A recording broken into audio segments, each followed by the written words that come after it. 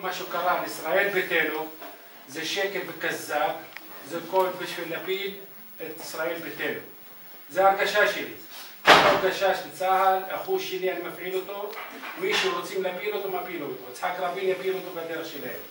אה, זאב יפיל אותו בדרך שלהם. אפילו כהנא יפיל אותו בדרך שלהם, אני לא יודע מי הגוף הזה שמחסל את האנשים הטובים שדואגים למדינת ישראל.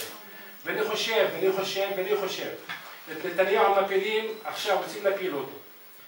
הוא היחיד שאני חושב שהוא גם עכשיו, שהוא שולט על המדינה, והוא שולט על הגבולות של המדינה. מה שתגידו עליי תגיד, אני גדיר עלי מביר אל-מכסור, איש צה"ל, נכה צה"ל, רכב רפואי, משכורת משרד הביטחון, וחי, יש לי מסגד נכון שרוצים להרוס אותו, אבל אני לא מסתכל על זה. אני מסתכל על המדינה שלי, והרסו, המדינה תחיה, אין לי בעיה. אז אני אומר, ראיתי את התוכנית שלך בטלוויזיה. תודה. בואו אני קצת אסכם ונעשה... אולי בשם כולם אני אדבר ככה, שני משפטים, כן, שני משפטים. האכזבה, אדוני השר, היא לא מפלוני ואלמוני ולא משהו יחיד. האכזבה היא, אנחנו נכנסנו למפלגה כי אה, הבנתנו, אנחנו רצנו אליכם, לא אתם באתם אלינו. אנחנו רצינו את המפלגה ונכנסנו למפלגה בגאווה ובכבוד. עכשיו, לא, המפלגה לא החזירה לנו את זה, אני לא מדבר על מגזר ערבי. תמיד יש הבדל בין מגזר לבין הערבים בתוך המפלגה. זאת אומרת, אני, אני מהמגזר בתוך המפלגה. אני רוצה התייחסות של המפלגה לנו מהמגזר בתוך המפלגה. לא קיבלנו את היחס הטוב, איך אומרים, אה, אה, הייתה הזנחה, היה אה, כאילו אנחנו לא קיימים, למרות שיש לנו כוח, למרות שיש לנו את, ה, את ה, באמת את הכוח להביא אנשים לקלפי. עכשיו, הגדולה שלנו הייתה לפני הבחירות האלו, בבחירות שקדמו עם הליכוד, אמרנו... אתם כרגע מחליטים? עוד לא. אמרנו שישראל ביתנו היא תביא שלום, ישראל ביתנו היא המפלגה החברתית, ישראל ביתנו והבאנו אנשים לקלפי. היום אנחנו לא, את, האמת עכשיו אני רוצה מישהו שיזרוק איזו סיסמה גדולה ויגיד לנו איך להוציא אנשים מהמגזר שלנו לקלפי, להצביע בשביל ישראל ביתנו. אפילו על דברים אישיים לנו לא נעשו. הדברים אישיים אפילו, לא על משהו בגדול, אלא קטנים קטנים. לא נעשה שום דבר, לא הייתה התייחסות, לא טלפונית, לא בחזרה בטלפונים אפילו, לא לפקסים, לא למכתבים, לא לפתרון בעיות. איך מונהל את המדינה? זו בעיה קטנטונת משם, בעיה גדולה מפה, אחד עוזר לשני, היום תן לי, תיקח, אם אתה לא נותן, אתה לא תיקח. תודה. זה המצב. קוראים לי חזי סווט, אני יש לי תואר שני במשפטים. אני בוחר, אני לא רכז ולא כולם. אה, אני מאמין באבו חסן, כי אה, במגזר שלנו, במגזר הערבי, יש לנו את המנטליות הזו, שיש, שיהיה לנו כתובת למי לפנות בזמן שאנחנו צריכים משהו. אה, אבו חסן אמר לי, יחיא אמר לי שמפלגה הזו והכל טוב ויפה. אני שאלתי, האם יש כתובת למגזר שלנו לפנות בתוך המפלגה אחרי הבחירות, לא לפני, אחרי הבחירות, השאלה שלי, האם יהיה למגזר מישהו שיהיה עוזר, שר או שבמפלגה שיהיה עובד בכיר שם, שאנחנו נפנה אליו ישירות, לא דרך מישהו שיגיע למר ליברמן, שיפתור לנו את הבעיה הקטנטנת שיש לנו. זו השאלה. תודה. אני מאז גיל שלי, שחברים אמרו לי לפי החוק להצביע, הייתי ליכוד נגד. ומאז שבא חסן אמר אנחנו עוברים לישראל ביתנו, אז אני, איך אומרים, התייצבתי וביצעתי את זה. אני כל הכבוד, עכשיו יש לנו מערכה, במערכה יש לנו מה שנקרא, היו ליקויים, היו טעויות, אנחנו לא צריכים להסתכל על זה עכשיו, זה אנחנו צריכים כשהיום לצאת להיות מיוחדים, מאוחדים בשביל באמת להוציא את הציבור הרחב, לצאת, להצביע ישראל ביתנו, על מנת באמת להגביר את כוחנו.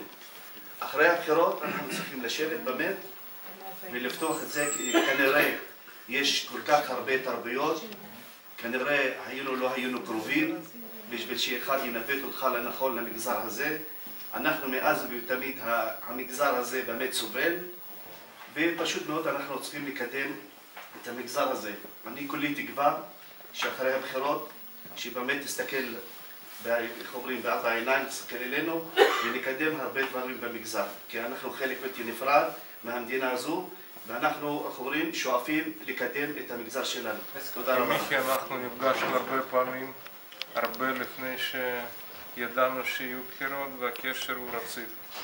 במשך שנים קשר רציף, ראיתם פה חלק מהאנשים גם במהלך התארגנות ב-98-99 איתנו בקשר, ואני שמח שיש אנשים שבמשך שנים שומרים על הקשר רציף עם המפלגה.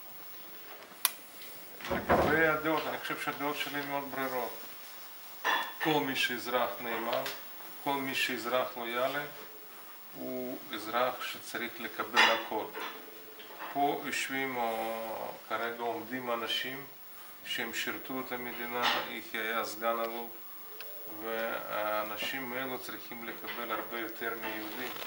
אני חושב שמי שחוזר במדי צה"ל בסביבה שלו, הרבה יותר קשה להם מאשר לבן שלי לחזור ליישוב נוקדים במדבר יהודה.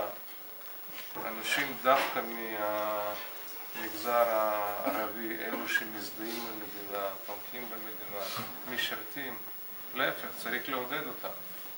אני חושב שזאת הדעה הברורה שלנו, אנחנו אה, לא, מעולם לא הסתרנו, אני לא מבדיל בין יהודי, אה, מוסלמי, נוצרי, אין שום הבדל בין מרגל האטום ולון ולעזמי בשארה, שני מרגלים, ואני מבחינתי באמת, אה, אני השתדלתי לשלב את החבר'ה האלו, שאלו אותי אם אחרי בחירות יהיה בדואי באחד הלשכות השרים, נכנסתי למשרד החוץ ב-2009, מיד התמנה בחור בדואי מהצפון אצלי בלשכה כאחד היועצים, אחר כך גם שלחתי לשליחות ללונדון, באנגליה, ייצג אותנו גם באנגליה, ולכן אנחנו פה באמת אה, משתדלים להעביר, מי שרוצה להיות אזרח מדינה, וברור לכולם, גם עבור הערבים שאין מדינה יותר נוחה במזרח התיכון ממדינת ישראל.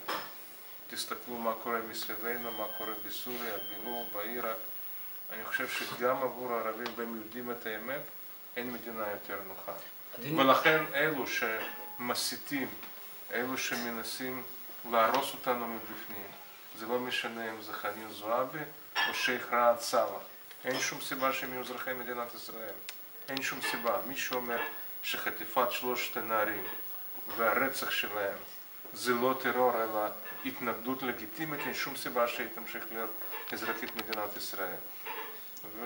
הזאת אני לא מסתיר בשום מקום. אדוני השר, אה, שר הביטחון יעלון אה, התייחס לדרישה שלך. לא, הוא אומר שקודם כל, שקודם כל ישראל ביתנו תעבור אחוז- אחוז החסימה, אחר כך אנחנו נדבר. אנחנו אה, נעבור יפה מאוד, תראה, אני לקחתי את כל הסקרים שהיו לפני הבחירות, מ-99. גם ב-99 אמרו שאנחנו לא עוברים לסיבוב חסימה. אנחנו ב-40 יום לפני הבחירות ב-2009 היינו בשישה מנדטים, גמרנו עם 15 מנדטים. אני יכול לגלות לך פה סטוף. אנחנו עשינו סקרים שלנו. אה, סקרים יסודיים, אנחנו כרגע עומדים על 11 מנדטים.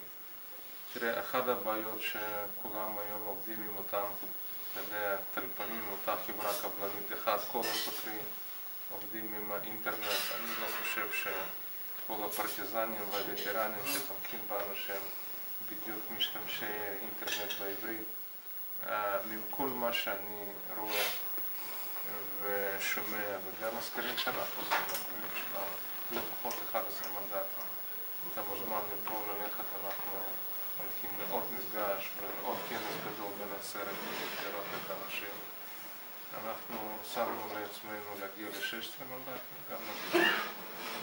וגם- אה, ניקח את התיק הביטחון, שלא יהיה שום ספק. אדוני אז השר, יעלון תשים יהיה צריך- לב לאנשים, לנוער, גם לנכי צה"ל, כי יש להם הרבה בעיות במגזר, ואני מבקשת ממך, כי תעזור לכל הנכים, נכי אנחנו צה"ל. חושב שזה המחויבות כי תרמו הראשונה. הרבה למדינה ואני מבקשת אישית כמייצגת תודה. אני הנכים ברשותך שתדאג ל- ל... تفضل. حزبي عندك في البيت وسمعنا انه من الإخوان في نوع من الاستياء والغضب من تعامل الحزب ورئيس الحزب معك وخاصة في التدريج في القائمة. كيف أنت بتقيم القوة تبعت الحزب في الوسط العربي وخاصة في الوسط البدوي؟ أنا بالنسبة لي يعني كيف آه، حضرتك بتحكي إنه بأي نمرة آه، أنا موجود؟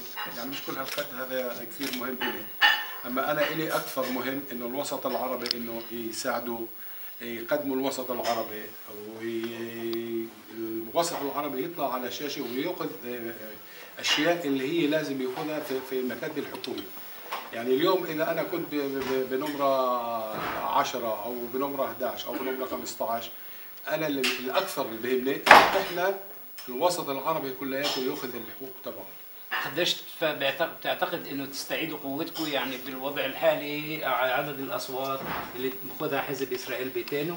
إحنا بنتامل أكثر كمان. إحنا بنتامل أكثر إنه إحنا أخذنا 4600 صوت من الوسط العربي إن شاء الله بنوصل ل 10000 لأنه بدي أقول لك شيء واحد مفلقه إسرائيل بيتينو إن هي بس اللي بتحكي المضبوط يعني إذا أنت خذ احزاب حزب العمل ولا حزب آه، البيت اليهودي ولا شاس ولا كلياتهم بيجوا بياخذوا اصوات العرب ويظلوا رايحين بعدين بدي أسألك سؤال واحد.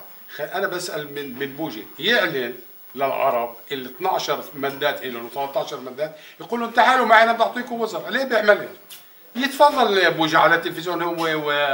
وتسيف الابن يتفضل يحكوا هذا الشيء بس آه، آه، رئيس ال- الحزب عندنا على القليل لما بيحكي كلمة بوقف فيها. إذا بقول أنا بدي أساعد الوسط العربي بواسط وأنا متأكد وأنا طلبت منه إنه يساعد ترشيحه بالذات وهو أنا بقول لك شيء واحد وياه بقول لك قدامه وهو عياه بسمع. أنا بقول وقال كل الوسط وخاصة في ترشيحه اللي بده يجي لعندي على مكتبي يتفضل أهلا وسهلا أنا مستعد أساعد ترشيحه والوسط العربي قديش بقدر. وهذا شيء مهم لنا تفضل.